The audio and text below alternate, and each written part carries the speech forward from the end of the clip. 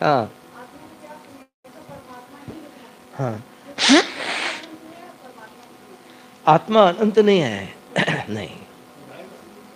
आत्मा अनंत कैसे होंगी? परमात्मा के पास अनंत शक्तियाँ है। आत्मा के पास अनंत शक्ति नहीं, अलप शक्ति।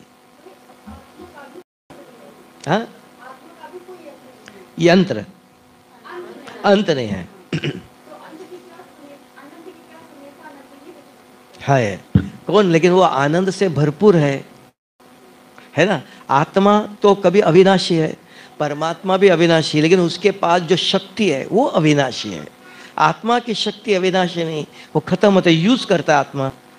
जनन मरण में आके यूज़ करता है तो खत्म हो जाता है। वो जनन मरण में नहीं आता है। इसलिए उसके पास धन संपत्ति भरपूर है। इतना ही अंतर। अगर आत्मा जनन मरण में नहीं आए वो भी उधर ही, उसके जैसे बनेंगे, जैसे बाप, ऐसे बच्चा। हम जनन मरण में आते तो सब खा पी के खत्म करते हैं। और बताओ